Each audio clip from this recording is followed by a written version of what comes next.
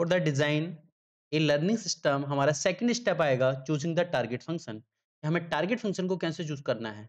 किसी भी अगर हम लर्निंग सिस्टम को डिज़ाइन कर रहे हैं तो उसके टाइम पे हम सारा जो सेकंड स्टेप है that is called choosing the target function उसके लिए हम देखेंगे कैसे हम टारगेट फ़ंक्शन को अचीव करेंगे। टारगेट फ़ंक्शन क्या है? कैसे इसको हम अचीव करेंगे? इस चीज़ को हम देखने वाले हैं। तो हमारा पहला, इससे पहले हम स्टेप देख चुके हैं, जिसके अंदर हमने देखा कि training experience choosing the training experience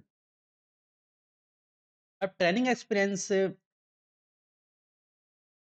तो उससे हमें पता चल गया ट्रेनिंग एक्सपीरियंस में कि हमारा जो चेकर्स प्रॉब्लम है, हमारा जो भी लर्निंग सिस्टम है, उसकी क्या-क्या लीगल मूव हो सकती है? मतलब क्या-क्या पॉसिबिलिटी हो सकती है हमारे इस गेम के अकॉर्डिंग हम देख रहे हैं, क्या-क्या हमारे पास लीगल मूव हो सकती हैं। लेकिन यहाँ पर हमारा रहेगा टारगेट फ़ंक्शन चूज़ करना, कि मतलब कि एग्ज़ैक्ट टाइप ऑफ़ नॉलेज हमारा फोकस रहेगा exact type of knowledge to be learn, ठीक है? कि हमारा एग्ज़ैक्ट टाइप ऑफ़ नॉलेज हमें लर्न करनी है, जिसकी वजह से क्या होगा जिसकी हेल्प से हम क्या करेंगे, गेम को जीत सकते हैं।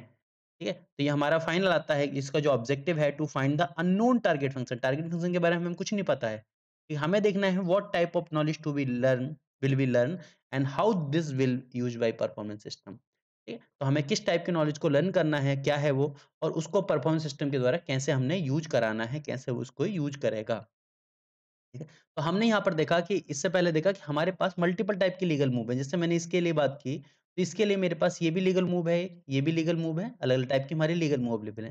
तो लेकिन इसमें हमें देखना है, कौन सी ऐसी मूव है लीगल मूव है, जो हमारी क्या होगी? बेस्ट मूव रहेगी। ठीक है? मतलब इनके अकॉर्डिंग क्या होगी मेरी? बेस्ट मूव रहेगी। ठीक? है तो कौन सा हमारा जो टारगेट फ़ंक्शन होगा, जो पॉसिबली है क्या है जो हमारा टारगेट फ़ंक्शन है, वो क्या होगा? जो पॉसिबल मूव है, उनमें हमारे बेस्ट को चूज़ करेगा। Choose the best option from among available valid option जो जो हमारे पास वैलिड ऑप्शन है, उसमें क्या बेस्ट ऑप्शन कौन सा है? और किस टाइप के हमने इसकी सिक्वेंसिंग के लिए बेस्ट स्ट्रेटजी हम प्लान करेंगे? Make a best strategy for sequencing तो टारगेट फ़ंक्शन जो हमारे क्या है? एग्जैक्ट एग्जैक्ट टाइप की जो नॉलेज है, उसको लर्न करेंगे फ्रॉम टर्निंग एक्सपीरियंस इससे पहले टर्निंग एक्सपीरियंस में हमने देखा था कि किस टाइप से हमने इसको लर्न किया था। लेकिन यहाँ पर जो टर्निंग एक्सपीरियंस है, वो भी हमारे दो टाइप के हैं तो डायरेक्ट टर्निंग एक्सपीरियंस है इनडायरेक्ट टर्निंग एक्सपीरियंस है। तो इसकी हेल्प से क्या करेंगे? जो हमारा टर्निंग एक्सपीरियंस होगा choose the best move from among the legal move initially it unknown ठीक है? स्टार्टिंग में नहीं पता है कौन सी हमारी बेस्ट मूव है, जो हमारे पास अवेलेबल ऑफ़ मूव है। तो उनके बीच से हमें निकालेंगे कि हमारी कौन सी बेस्ट मूव होगी based on the training experience तो अगर हमने डायरेक्ट एक्सपीरियंस की बात करें तो डायरेक्ट एक्सपीरियंस के टाइम पे है need to find the target function ठीक है that will help to choose the best move among alternative जो जो हमारे पास best possible legal move available है, उसके बीच में हम देखेंगे क्या हमारी बेस्ट मूव है, ठीक है? तो इसके लिए हम फ़ंक्शन यूज़ करते हैं चूज़ मूव फ़ंक्शन हम यूज़ करते हैं इसके लिए। यहाँ पर मतलब गेम को जीतने के लिए जो हमारी चूज़ मूव फ़ंक्शन रहेगा, ठीक है, वो हमारा रहेगा, ठीक है? जैसे हमने एक एग्ज़ाम्पल मान लिया। ठीक है? हमने एग्ज़ाम्पल मान लिया कि मान लो हमारा हमारा कोई भी एग्ज़ाम्पल था, हमें क्या रिक्वायरमेंट है? ठीक है? हमारा ये फ़ंक्शन ले लिया हमने, कोई फ़ंक्शन ले लिया, जिसकी हेल्प से इस फ़ंक्शन के थ्रू में क्या करना है? गेम को जीतना है, हमें इतनी वैल्यू लेके आनी है। तो चूज़ मूव मूव फ़ंक्शन हमने यहाँ पर यूज़ किया। ठीक है? जो भी हमारा बोर्ड स्टेट होगा, उसके थ्रू हमने देखा है कि हमें, हमारे पास जो प्रोवाइड अवेलेबल मूव हैं, उनमें के हमारी बेस्ट मूव कौन सी होगी? मतलब हमने जो भी इनपुट यहाँ पे हमने प्रोवाइड किया, उस इनपुट के वेब पे हमने क्या फ़ंक्शन अप्लाई किया जिससे हमारा जो आउटपुट है, वो क्या हो बेस्ट आउटपुट हमारा प्रोवाइड हो। इसके बेस पर मान लिया मान लिया कि यहाँ पर हमारे जो फ़ंक्शन काम कर रहा है that function is called choose move function तो हमने डायरेक्ट ट्रेनिंग एक्सपीरियंस के यहाँ पर इसमें देखा कि हमारे पास जो मूव है, हमने इसमें एग्ज़ाम्पल में देख लेना हमारे पास कि जैसे हमारे पास एक मूव है, ठीक है, हमारे पास एक मूव ये अवेलेबल है, एक मूव ये अवेलेबल है, दो मूव हमारे पास अवेलेबल हैं। तो इसमें हमने देखा कि हमारे पास बेस्ट इन दोनों अल्टरनेटिव में जो बेस्ट मूव होगी, वो हमारी क्या होगी, ठीक है? तो हमने ये देखा है, डायरेक्ट ट्रेनिंग एक्सपीरियंस हमें प्रोवाइड होगा। तो अगर ये मूव बेस्ट है, ठीक है तो हम इस पर चलेंगे, ये मूव बेस्ट है तो हम इस पर चलेंगे। मतलब इन दोनों में जो भी बेस्ट मूव होगी, उस पर हम चल सकते हैं, that is called direct turning experience हमें प्रोवाइड हुआ उसके बेस पे। लेकिन इनडायरेक्ट टर्निंग एक्सपीरियंस हमें नहीं पता है हमें नहीं पता कि ये बेस्ट मूव है या ये बेस्ट मूव है। हमें पता कब चलेगा? जब हम गेम को एंड कर देंगे, तब हमें उस चीज़ को पता चलेगा। तो इनडायरेक्ट एक्सपीरियंस के टाइम में क्या है? ये डिफ़िकल्ट है इस टाइप को लर्न करना, ठीक है? Difficult to learn such a function इसकी वजह से हम यहाँ पर यूज़ करते हैं एक अल्टरनेटिव टारगेट फ़ंक्शन, जिसको बोला गया है इवोल्यूशन फ़ंक्शन, ठीक है? अब इवोल्यूशन फ़ंक्शन के अंदर क्या करते हैं हम? कुछ न्यूमरिक वैल्यू हम असाइन करते हैं इसके लिए। तो इस न्यूमेरिक वैल्यू के थ्रू हम देखेंगे क्या हमारी ट्रेनिंग वैल्यू है, उसके अकॉर्डिंग फाइंड करेंगे क्या हमारे पास बेस्ट मूव होगा। ठीक है? तो हम इसमें देखते हैं कि after learn target function successfully हमारा काम क्या है? बेस्ट मूव को सेलेक्ट करना, लेकिन सेलेक्ट करेंगे कैसे? तो हमारे जो इनडायरेक्ट एक्सपीरियंस पे हम देखने वाले हैं कि टारगेट फ़ंक्शन को जिसको हमने क्या बोला है? इवोल्यूशन फ़ंक्शन बोला है। तो इसकी जो वैल्यू है, जिसको हमने बी से डिनोट किया है, ठीक है? तो पर्टिकुलर वर्ड स्टेट पे, ठीक है? वैल्यू हमारी क्या रहेगी?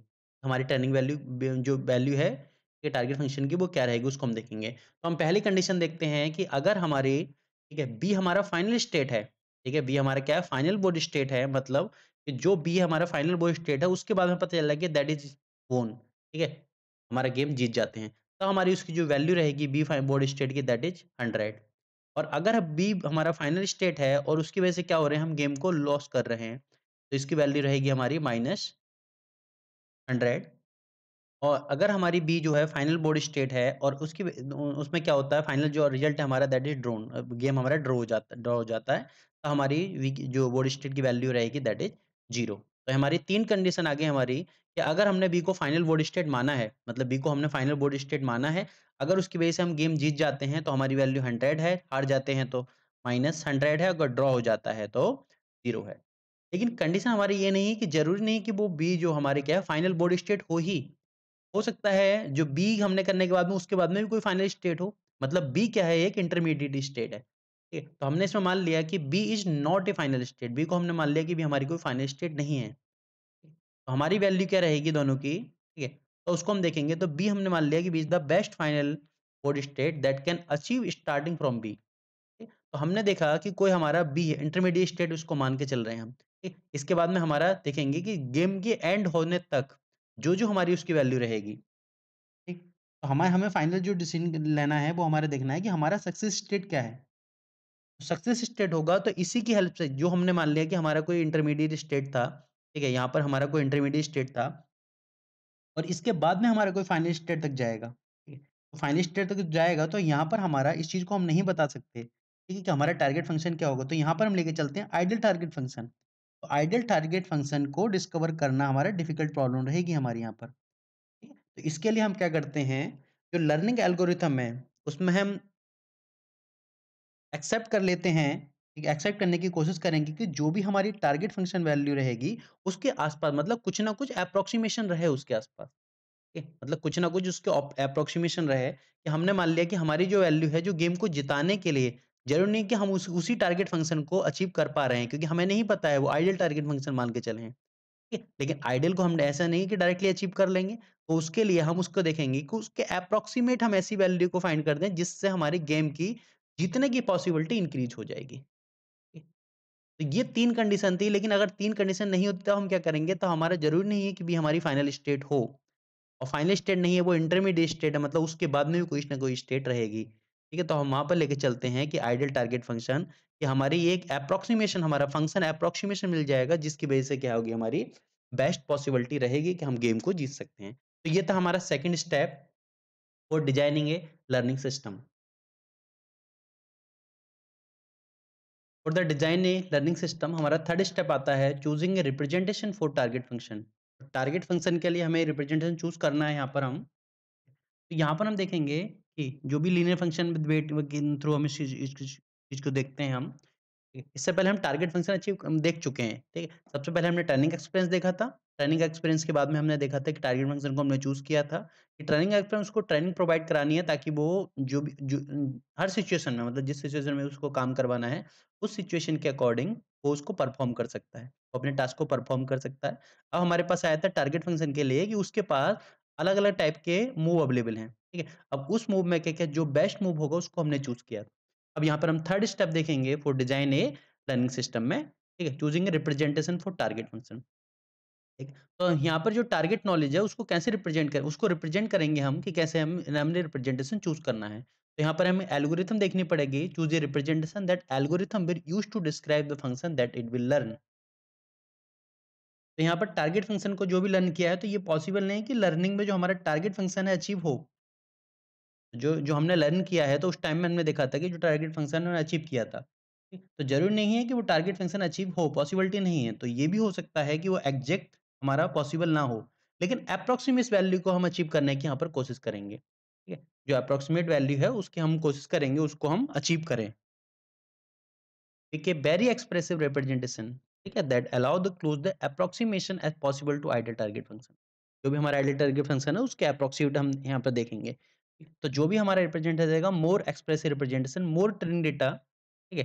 तो जितना भी हमारा एक्सप्रेसिव हमें लेके आना है, जो भी हमारा रिप्रेजेंटेशन है तो जितना हमारा अच्छा ट्रेनिंग डेटा प्रोवाइड होगा, ठीक है? तो हमारा क्या करेगा program will require in order to choose the more alternative hypothesis it can present तो हमारे पास जो जो अलग अलग टाइप के हाइपोथेसिस अल्टरनेटिव हाइपोथेसिस प्रेजेंट हो सकते हैं रिप्रेजेंट करा सकते हैं, उसके बेस पर हम देखेंगे कि क्या हमारा बेस्ट टारगेट फ़ंक्शन को हम रिप्रेजेंट करा सकते हैं। ठीक है? जो हमारा अप्रोक्सीमेट हो कि आइडियल टारगेट फ़ंक्शन के आसपास हो हमारा। तो हमारे, इसके लिए हम क्या करते हैं machine learning algorithm has complete list of all permitted move it may pick the best one using any function colour type के हम यहाँ पर फ़ंक्शन यूज़ कर करते हैं, जिसके थ्रू हमें क्या होगा, उसमें क्या जो बेस्ट है वो हमें प्रोवाइड होता है। तो हम लीनियर फ़ंक्शन यूज़ कर सकते हैं पॉलिनोमियल फ़ंक्शन या आर्टिफिशियल न्यूरल नेटवर्क का हम यूज़ कर सकते हैं यहाँ पर। उसको हम यूज़ करा परमिट कराने के लिए। हम देखते हैं कि अलग अलग टाइप के जो मूव अवेलेबल है हमारे पास तो अलग टाइप के out of these move the next move function will move the test target जो भी हमारा टारगेट रहेगा, ठीक उसको हम देखेंगे।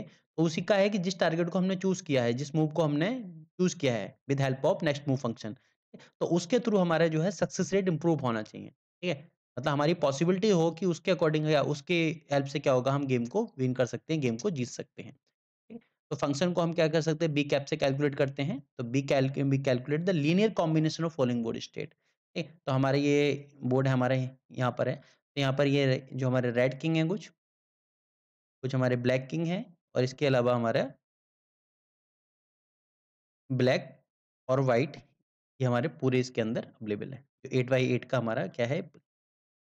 चेकर्स गेम तो हम सबसे पहले देखते हैं कि हमारे पास जो बोर्ड स्टेट अवेलेबल मतलब जो हमारा फाइनल बोर्ड स्टेट है, जो हमारा बोर्ड स्टेट है तो उसमें पहली कंडीशन देखेंगे एक्स वन तो उसमें हमारा आएगा number of black pieces on black board V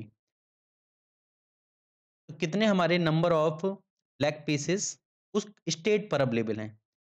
अगला हम इसमें देखेंगे रेड पीस कितने अवेलेबल हैं? थर्ड में हम देखेंगे नंबर ऑफ़ ब्लैक किंग ठीक है ऑन बी बोर्ड स्टेट में हमारे कितने ब्लैक किंग अवेलेबल हैं? ठीक है, अगले हम देखेंगे कि number of red king available हैं। एक्स फाइव में हमारा आएगा number of red pieces threaten by black मतलब इस कितने नंबर ऑफ़ रेड फीसिस ऐसे हैं, ठीक है, जिन्हें क्या है? थ्रेट है ब्लैक से। ठीक है मतलब मान लो कि हमारी कंडीशन ये हो सकती है। यहाँ पे मान लिया कि रेड यहाँ पर है हमारा, ठीक है। और रेड हमारा चाल, चल चुका है, अब ब्लैक चलेगा। तो ये जो हमारा क्या है, ठीक है, ये हमारे नंबर ऑफ़ रेड हैं, ठीक है। जिसको ब्लैक से क्या है, खतरा है। अब ब्लैक से इसको भी हो सकता है, ठीक है, इस इस साइड भी हो सकता है, किसी भी साइड हो सकता है और एक्सिक्स हमारा आएगा number of black pieces threaten by red, ठीक। तो ये हमारे दोनों हैं कि जिनको एक दूसरे से हमारा खतरा है। तो इसको हम देखेंगे बी कैप, ठीक है, जो हम वैल्यू निकालेंगे, टारगेट वैल्यू। तो जो हमारा बेट है, उस बेट के अकॉर्डिंग हम टारगेट वैल्यू हम फाइंड करेंगे जो हमारी हमारी टारगेट वैल्यू रहेगी यहाँ पर।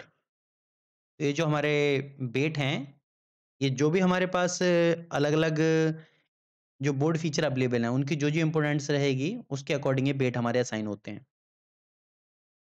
इसके लिए मान लिया कि जैसे हमने देखा कि हमारे पास इसमें देखते हैं हम, कि जैसे हमने देखा कि यहाँ पर x2 की वैल्यू ज़ीरो हो गई, ठीक है? Number of red piece on board state V, ठीक है? तो बोर्ड स्टेट में हमारे नंबर ऑफ़ रेड पीस जो है वो क्या हो गए हमारे ज़ीरो हो गए, मान लिया हमने ज़ीरो हो गए।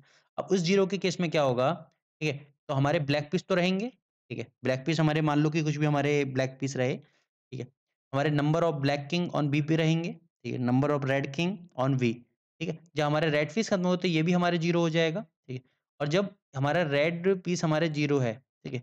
तो इसके बाद में थ्रेटन बाई ब्लैक ठीक है? तो रेड फेस जो है ही नहीं तो रेड फेस को ब्लैक से खतरा भी नहीं होगा, और जब रेड फेस है ही नहीं तो ब्लैक को भी रेड से कोई खतरा नहीं होगा तो ये भी वैल्यू हमारी दोनों क्या होंगी? ज़ीरो हो जाएँगे। तो इसके अकॉर्डिंग क्या फाइंड करेंगे हम? अपनी ट्रेनिंग वैल्यू फाइंड करेंगे कि जो हमारी ट्रेनिंग वैल्यू रहेगी, ठीक है? मतलब जो हमारी इस्टीमेट जो वैल्यू रहेगी तो उसके थ्रू हमें ये मिल जाएगी और बी ट्रेनिंग वैल्यू। अब हमारी पॉसिबिलिटी है उस गेम को जीतने की।